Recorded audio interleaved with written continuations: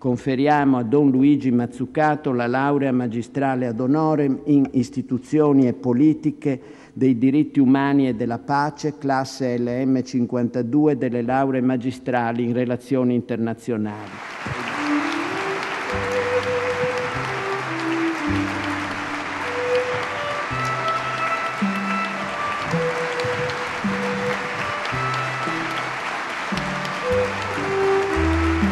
Personalmente mi vedo qui un piccolo uomo davanti a uno scenario che mi impressiona e mi riempie di confusione. Io non sono un grande dell'arte, della cultura e della scienza. Non sono un maestro in diritti umani per dare lezioni. Posso portare la testimonianza di una storia che mi ha coinvolto profondamente.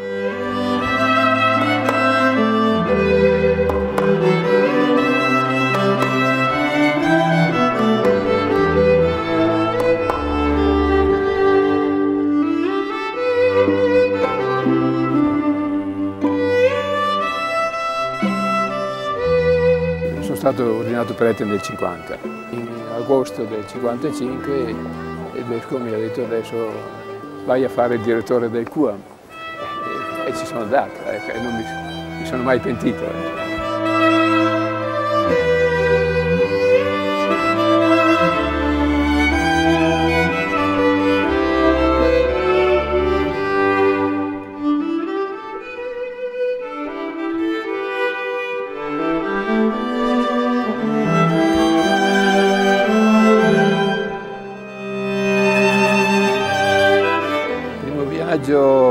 Stato molto commovente per me, appunto perché era il primo, la prima volta quindi che riuscivo ad andare in Africa.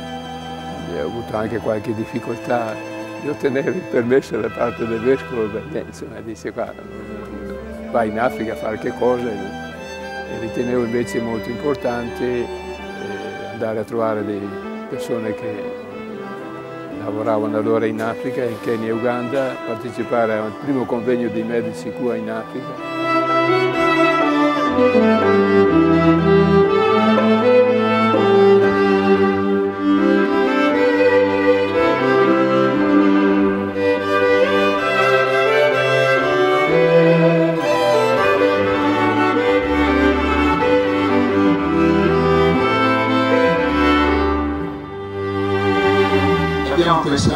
Desiderato tante volte di poter iniziare una nostra presenza anche qui sul Sudan.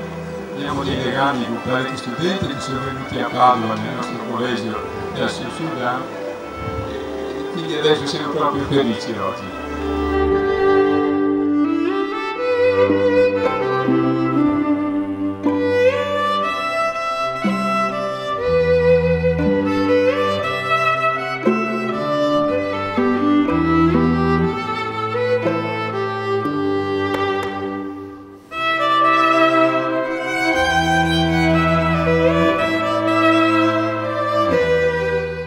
Carità di Cristo continua ad essere urgenza per noi, medici con Africa QAM, che abbiamo il dovere di mantenerla viva e non aver paura di annunciarla ai quattro venti, seguendo le orme del fondatore, profeta antesignano del Concilio e ascoltando la voce dello Spirito che non cessa di provocarci ogni giorno.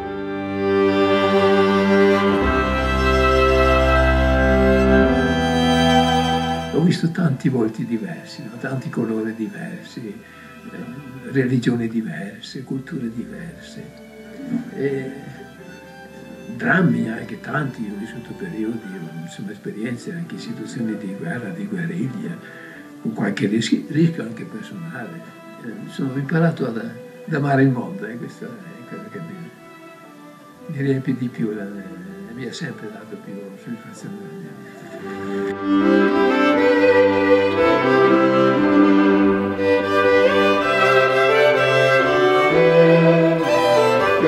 racconta è un po' colorito, un po', no? E quando chiamavo, magari anche di sera dopo cena, verso le nove e mezza, dieci, allora uno è già tranquillo, ha finito la sua giornata, no? Dice ti ascolta mai volentieri, e poi adesso ti anche, comincia ad avere anche un po' di sonno, quindi a un certo momento dice sì va bene, insomma pure di liberarsi. Dal...